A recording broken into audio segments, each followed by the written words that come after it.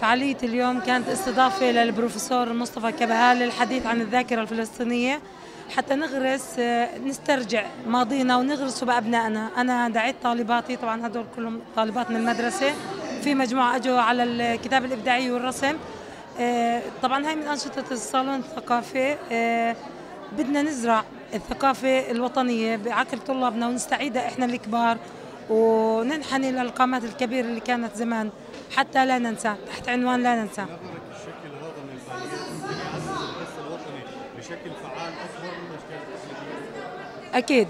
آه هذا الشكل هو شكل من الأشكال بعزز بطريقته. كل شكل له له أثر. آه الم- المحاضرات لها أثر الأعمال لها أثر. وإحنا في المدرسة لنا يوم الخميس القادم إحياء ليوم التراث. طالباتنا اللي راح يشتغلوا الأكلات التقليدية اللي أهالينا كانوا يعملوها آه، حتى طريقة جزء من طريقة الأعراس الحكاية الشعبية راح تكون عندنا بالمدرسة وجزء من الأدوات اللي كانوا يستخدموها. آه، وشكرا للتلفزيون لتغطية هذا وهذا شكل من أشكال آه، بث الحس الوطني في الطلاب في الأهالي. بدعو الكل يعني أباء أمهات حتى الأجداد ما يتركوا ثانية ما يغرسوها بع- بعقل طلابنا. الحكاية الشعبية باللي كان موجود آه، بعزز الحس الوطني.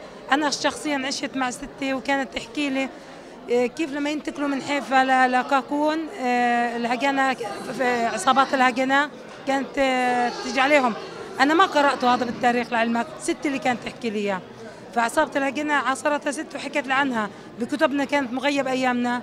الشهادات المنقولة زي ما حكى البروفيسور مصطفى هي مهمة جدا. لازم نعيش مع الكبار السن. نعيش معهم مش مع الآيباد ولا مع التابلت هذا الجوجل ما بيعطيني إياه. بس الآباء والأجداد اللي بيحكوا. يعطيكم العافية شكرا لكم. شوف بدي أشكر طالبات اللي لبوا الدعوة وأجوا سواء على الكتاب الإبداعي على الرسومات وعلى المحاضرة.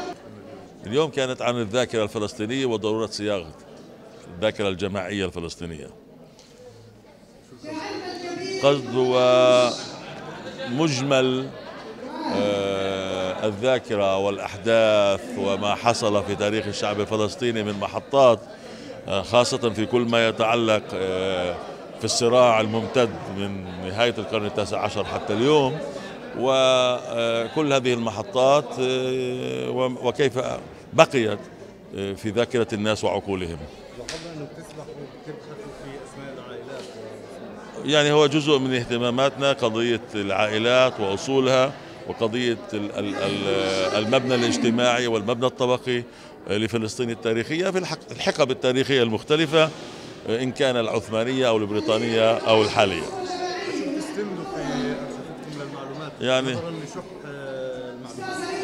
آه، آه، يعني هناك أرشيفات وهناك سجلات للمحاكم الشرعية وهناك رواية شفوية يتم جمعها من الأشخاص وتم جمعها على مدار سنوات.